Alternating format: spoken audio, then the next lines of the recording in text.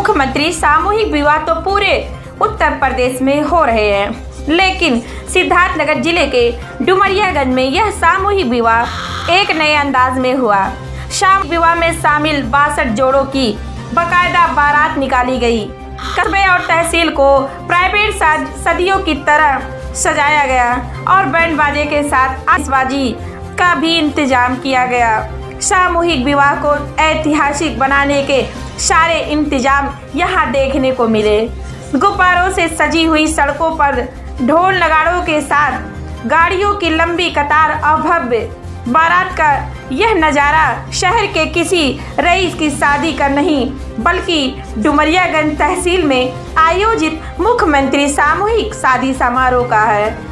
मुख्यमंत्री सामूहिक विवाह के इस कार्यक्रम में बारात की अगुवाई स्थानीय भाजपा विधायक राघवेंद्र प्रताप सिंह सिद्धार्थनगर के जिला अधिकारी और एसपी कर रहे हैं। सामूहिक विवाह में शामिल बासठ दूल्हों की यह बारात डुमरियागंज ब्लॉक से निकलकर एक किलोमीटर दूर तहसील परिसर में आई, जहाँ लड़की पक्ष की तरफ़ से डुमरियागंज के एसडीएम त्रिभुवन प्रसाद ने उनका जोरदार स्वागत किया और भव्य व्यवस्था के बीच शादी में आए जोड़ों का विवाह और निकाह कराया। खूबसूरत और ऐतिहासिक व्यवस्था से शादी में शामिल जोड़ों। बहुत खुश दिखे और इस इंतज़ाम के लिए शासन प्रशासन को धन्यवाद दिया। सामूहिक विवाह के इस ऐतिहासिक कार्यक्रम के बारे में स्थानीय विधायक राघवेंद्र प्रताप सिंह ने कहा कि इस शादी समारोह में प्रदेश सरकार के अलावा स्थानीय व्यापारियों ने भी हिस्सा लिया। इस भव्य आयोजन के पीछे उनका मकसद यह था कि लोग यहाँ शादी कराने में खुद को उपेक्षित न महसूस करें। दूल्हा दुल्हन को लगना चाहिए कि उनकी भव्य तरीके से शादी हुई और कमिश्नर से लेकर के सारे अधिकारी ने उनकी शादी में शिरकत की। उनकी भी बारात आई और वे सारे कार्यक्रम हुए जो आम शादियों में होते हैं। सामूहिक विवाह के इस कार्यक्रम के आयोजक उप जिलाधिकारी त्रिभुवन प्रसाद ने कहा कि आज बासठ जोड़ों की शादी हुई है, जिसमें आठ मुस्लिम जोड़े शामिल हैं। उन्होंने कहा कि शासन की मंशा के अनुरूप हर जोड़े को ज़रूरत के समान और इक्यावन हज़ार रुपये नगद दिया जा रहा है। राघवेंद्र प्रताप सिंह, विधायक डुमरियागंज, त्रिभुवन प्रसाद, एसडीएम डुमरियागंज मुख्यमंत्री सामूहिक विवाह के इस कार्यक्रम को भव्य तरीके से आयोजित कर स्थानीय विधायक और प्रशासन ने एक नई शुरुआत की है। इसकी प्रशंसा हर स्तर पर हो रही है। इसी तरह अगर भव्य तरीके से यह आयोजन होता रहा तो गरीब परिवार निश्चित ही इसमें शामिल होकर अपने को गौरवान्वित महसूस करेंगे। आपको कैसा लग रहा है और शादियों से कैसी है? इतने में सोफे में खाली दूल्हा दुल्हन जाएँगे। आगे की लाइन छोड़ के और कुर्सी के आगे कोई खड़ा ना हो। आगे से हट जाइए। आप लोग पीछे जाए इससे अच्छा दृश्य देखेंगे योजना के अंतर्गत आपकी शादी हो रही है। बारात निकाली गई है मुख्यमंत्री समाज योजना में पहली बार बारात देखने को मिला। कैसा लग रहा है आपको यहाँ शादी करके?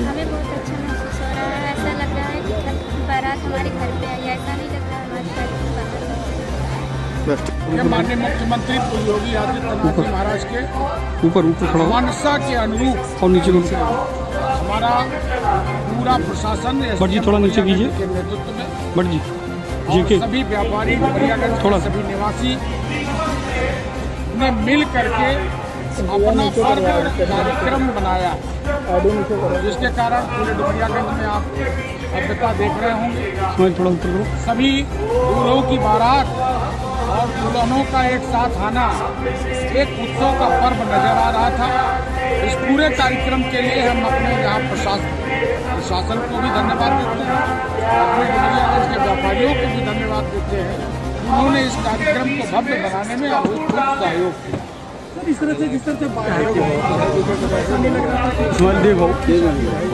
गड़बड़ ना हो ये जहन में आपके कैसे आया किस तरह से शहर में इसलिए आया कि निर्बल और कमज़ोर व्यक्ति यह महसूस न कर सके भैया। मुख्यमंत्री सामूहिक विवाह योजना। है। जो माननीय मुख्यमंत्री जी की सोच के अनुसार हर साल हर जिला मुख्यालय में किया ये किसी कमज़ोर के लिए है गरीब के लिए ये हर व्यक्ति के लिए है और इसको ऐसा हम भव्य बनाना हम लोग चाहते थे अपने एस डी एम डुमरियागंज के साथ मिलकर के इसमें सारे विशिष्ट अतिथि, चाहे सांसद हों, मंडलायुक्त हों, जिलाधिकारी हों पुलिस हो, हमारे विधायक के वस्तु हों, या पूरे डुमरियागंज के सभी गणमान्य नागरिक, सबकी उपस्थिति से एक दूल्हा या दुल्हन या उनके परिवार के लोगों को यह लगा कि ऐसी शादियाँ करने से शादी का उत्सव था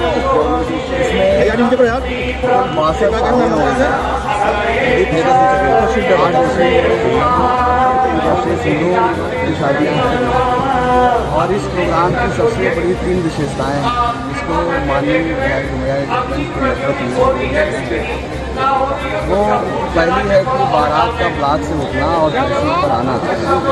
और ब्लॉक वालों ने अपनी समाज खंडिता का अधिकारी ने जैसे अपनी भूमिका निभाई, जैसे कि दूल्हे का पिता होता है या गार्जियन और तहसील परिवार ने पूरी भूमिका निभाई जैसे का एक अभिभावक या पिता होता है शादी का प्रयास किया है। इसके अलावा हम लोगों ने एक और विशेष बात किया कि नेशनल लेवल का जादूगर बुलाया। ताकि लोगों को ये प्रतीत हो? कि महत्ता क्या है लोगों ने अभी देखा भी है बहुत तीसरी सबसे बड़ी विशेषता है कि विदाई हम लोग जो कर रहे हैं व्यापारी यहाँ पर लोगों को उपहार दे रहे हैं और साथ में हम लोग ऐसी व्यवस्था सुनिश्चित कर रहे हैं कि घर तक गाड़ी हर दूल्हा दुल्हन को जाए और ये तरह का प्रयास है अभी तो मुझे आया कुछ दिन हुआ है लेकिन कोशिश की जाती है। सर लड़की पक्ष की भूमिका आपने निभाई। सड़सठ सड़सठ बेटियाँ बेटियों की आपने शादी कराई है। सर कैसा महसूस हो रहा है? लड़की पक्ष की तरफ़ से आपने बारात को रिसीव किया। ये कैसा रहा है बड़ी जी उठाओ। ये अभूतपूर्व है क्योंकि हम लोग ये जानते हैं कि कन्यादान से बड़ा कोई दान नहीं है। क्योंकि सरकारी नौकरी में हर योजना को सरकारी तरह से देने की कुछ लोगों की आदत लेकिन हम लोगों ने इसको मान्य विधायक